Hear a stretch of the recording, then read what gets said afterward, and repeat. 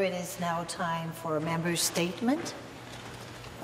And I recognize the member for Thunder Bay, Atikokan.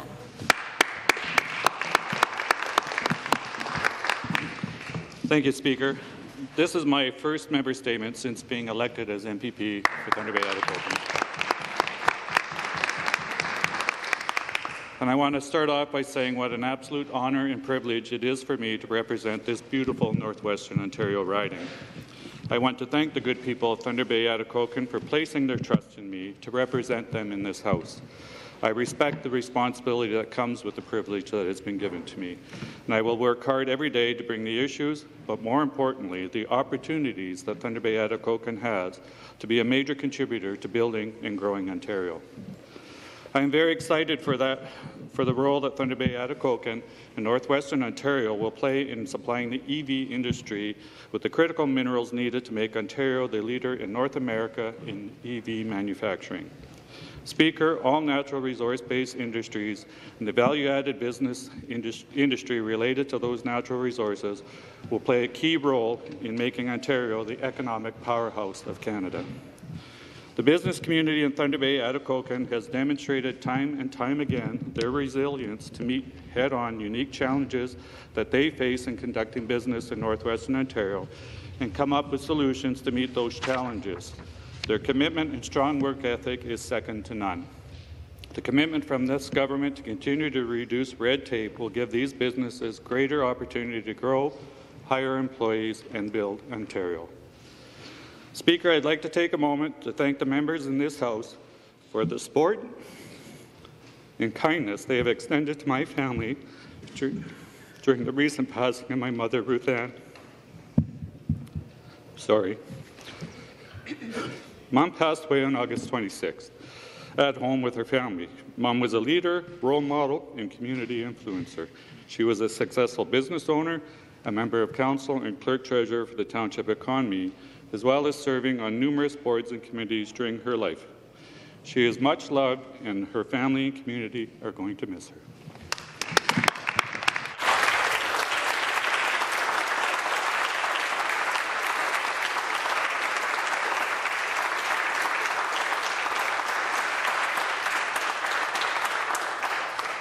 Thank you. Member statement. The member for Toronto St. Paul. Good morning, Speaker. Uh, yesterday was the Labor Day Parade, and I had the privilege of joining thousands of dedicated workers, including many from Toronto St. Paul's, people who work day in and day out, committed to, to the betterment of themselves, their families, and our communities. It got me thinking about Mrs. Green and her legacy. Mrs. Evelyn Green was a hard worker and lived in her house on Arlington Avenue for over 50 years. She raised her family there, she passed away on May 23, 2020. In her life, she worked as a civil servant, and in 1993, she was recognized for 25 years of service with the government. And as if that wasn't enough, she'd been a tireless volunteer at Castleview Wychwood Towers long-term care home in our community and with the St. Clair West Services for Seniors.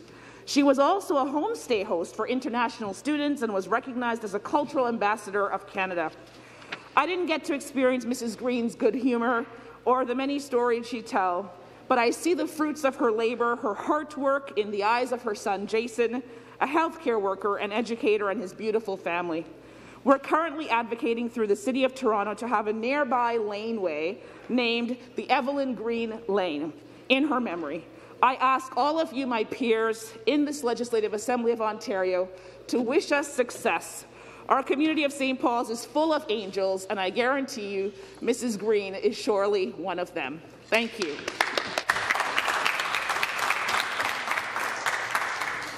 Thank you. Member statement. The member for Don Valley North. Thank you, Speaker. Ontario students are going back to school this week.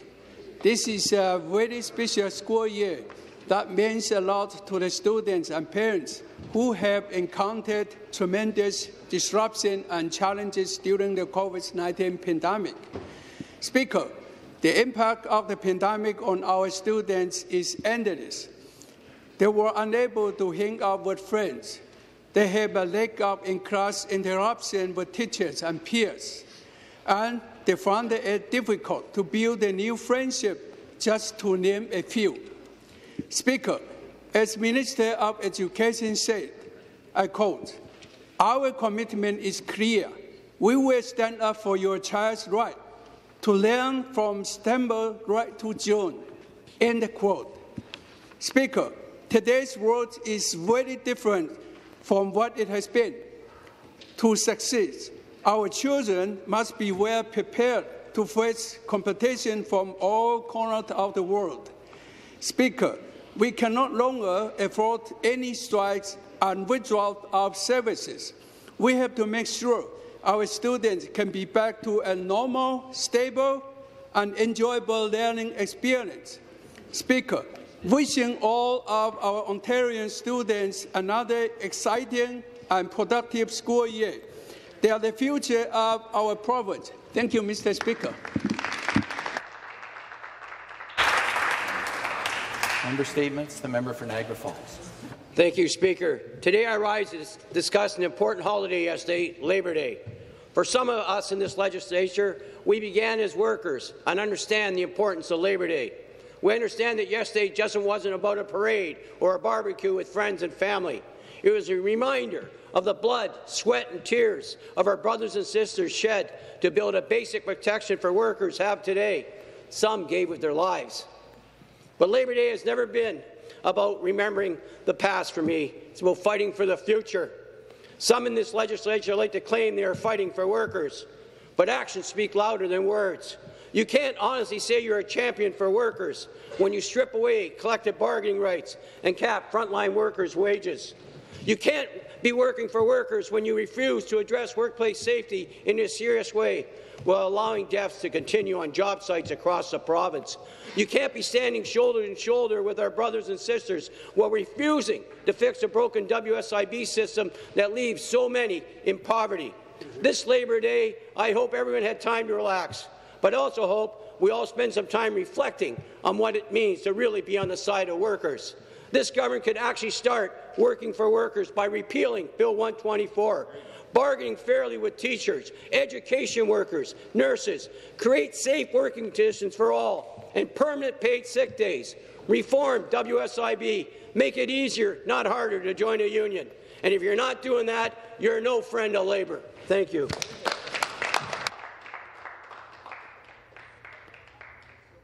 David's the member for Mississauga Malton. Speaker, Mr. Speaker, Canada is the land of opportunity, a place where many successful immigrants have built an amazing career and contributed to the community. As a first-generation immigrant myself, I'm truly inspired by those who came to new country to build a life for themselves and ended up building an incredible community around them. Immigrants like Deepak Ruparell, born in Tanzania and immigrated to Canada in 1970s. He followed a career in hospitality and quickly became one of the Canada's leading hoteliers.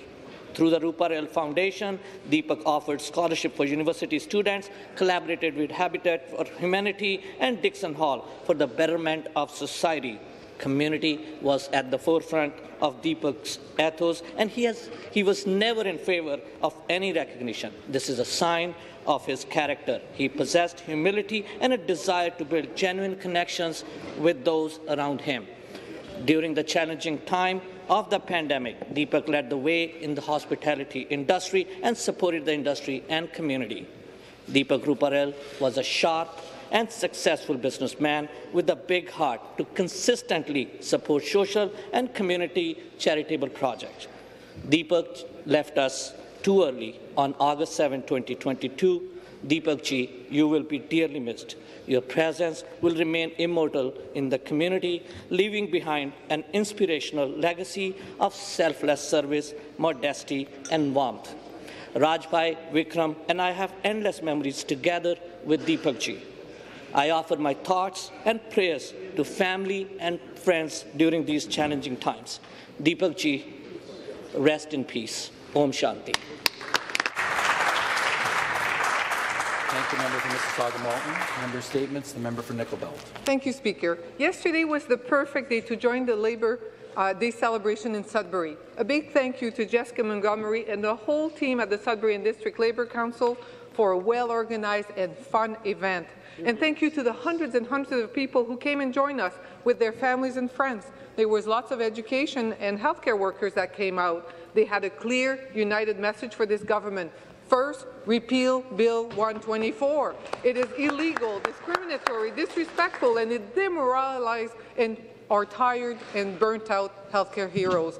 Make PSW a career so we can ensure quality home care and long-term care and stop the privatizations of Ontario healthcare system. Many Labour retirees were there, some of them quite elderly, Speaker. They are scared. Bill 7 is causing seniors to second-guess whether they should go to the hospital when they're sick for fear of being labeled ALC. As you know, Speaker, Bill 7 takes away the right of frail elderly people and allows the government to move them to a long-term care home focused on profit, not on quality care. In Northern Ontario, being transferred away from home means a lot of hardship. But everyone at the Labor Day celebration agree solidarity is the way forward, and the NDP will always stand in solidarities with workers. Solidarities forever.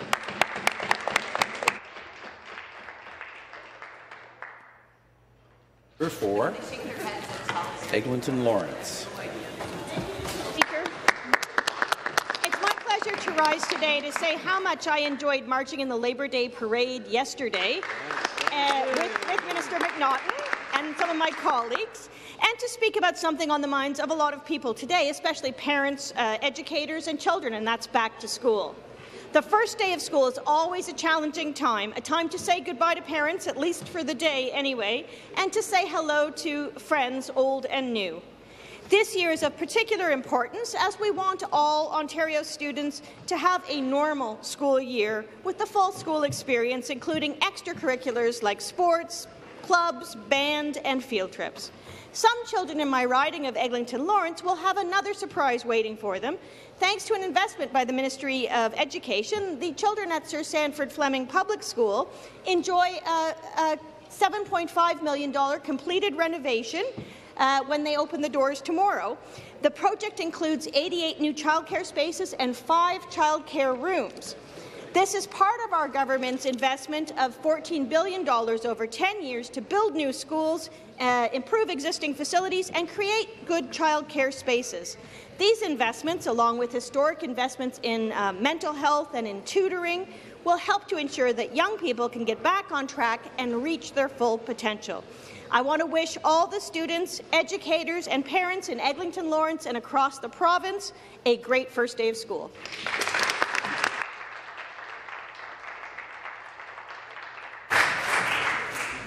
Thank you. Member statements.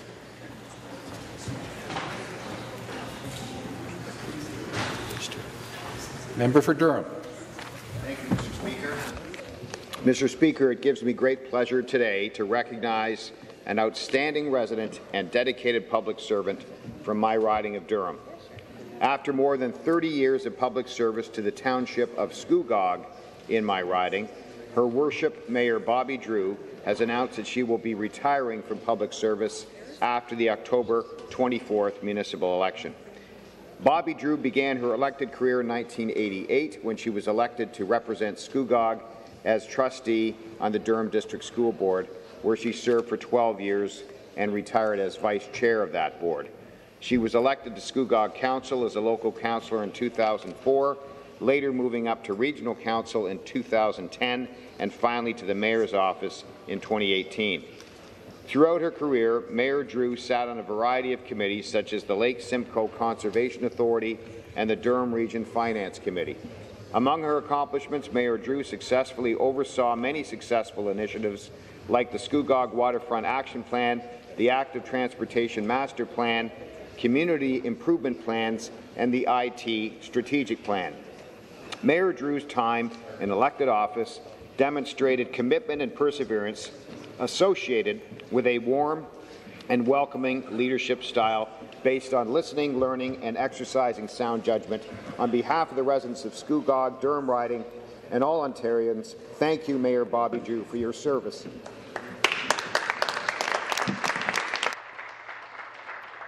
Statements. The member for Markham Unionville. Thank you, Mr. Speaker.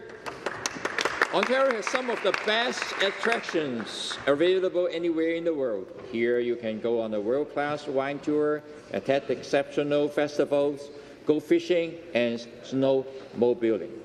Tourism is also a key economic driver in Ontario, supporting approximately 395,000 jobs and generating over 38 billion in spending. In Markham Unionville, we are renowned for many attractions, including Main Street Unionville, conservation parks, and our diverse range of cuisine. We are also known for hosting some of the best festivals, including our well-known Markham Jazz Festival. I have the pleasure of attending the kickoff event, partaking in the energetic atmosphere, and congratulating Markham Jazz Festival for receiving funding from our government's Reconnect Ontario program and Ontario Arts Council grant program. Through this grant, it supported a great local initiative that supported local musicians and rekindled music lovers with jazz. Speaker, another local festival I want to highlight is the Toronto Hong Kong Film Festival. As Ontario's first Hong Kong Film Festival, this event highlighted and celebrated Hong Kong's culture and successes of its international famous film industry. From Foot Booth to remarkable movies directed by director Clifton Ko, this festival provided entertainment to all attendees and highlighted Ontario's strong multiculturalism. Ontario is a world of experiences.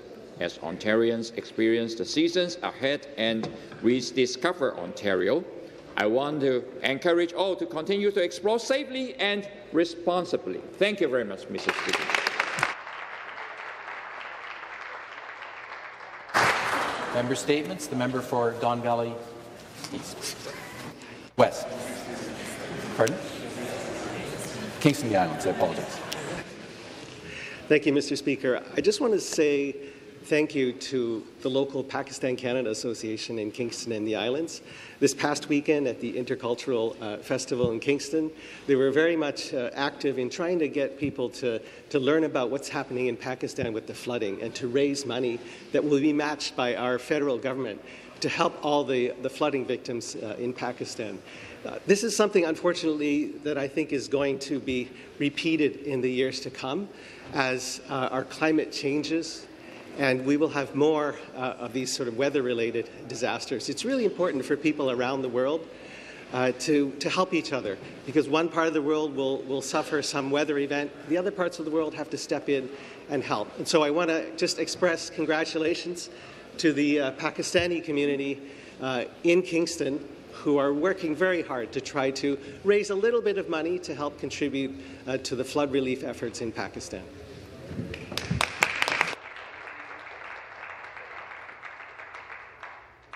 Concludes our member statements for this morning.